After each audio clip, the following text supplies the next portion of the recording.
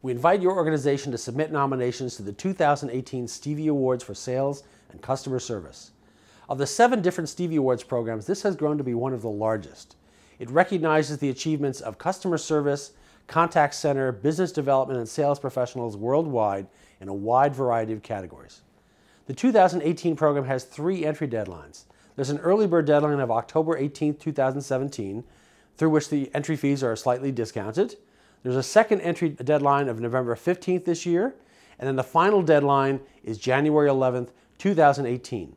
The nominations will be reviewed and rated by more than 150 professionals around the world acting as judges, and their determinations will be announced on January 16th when we reveal the finalists. All finalists will ultimately be named Gold, Silver, or Bronze Stevie Award winners, but those placements won't be revealed until the Gala Awards dinner in Las Vegas at Caesars Palace on February 23rd. We invite your organization to submit nominations, and if you have any questions about the process, please do email us at help at stevieawards.com.